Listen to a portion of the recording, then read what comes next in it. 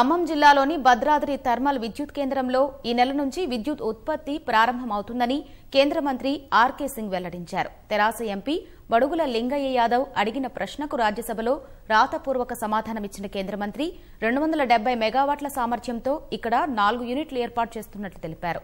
ఒక యూనిట్ గతేడాది సెప్టెంబర్లోనే సింక్రనైజ్ అయిందని దాని నుంచి ఈ నెల ఉత్పత్తి ప్రారంభమవుతుందని పేర్కొన్నారు. మిగిలిన మూడు యూనిట్లు ఈ ఏడాది డిసెంబర్ నాటికి మొదలవుతాయని తెలిపారు. Yadadri super power project civil పనులకు టెండర్లు పిలుస్తున్నామని గుత్తేదారులు ఖరారయ్యేలోపు ప్రత్యామ్నాయ సంస్థల ద్వారా చిమ్నీ కూలింగ్ టవర్ నిర్మాణ పనులు మొదలు పెడతామని కేంద్ర మంత్రి తెలిపారు. ఎనిమిది వందల మెగావాట్ల సామర్థ్యంతో ఏర్పాటు చేస్తున్న ఐదు యూనిట్లు ఏడాది అక్టోబర్ నుంచి రెండు వేల ఇరవై ఒకటి అక్టోబర్ వరకు ప్రారంభమవుతాయని స్పష్టం చేశారు. ఇవి రెండు రాష్ట్ర ప్రాజెక్టులే కాకుండా కేంద్రం ఎలాంటి నిధులు మంజూరు చేయలేదన్నారు.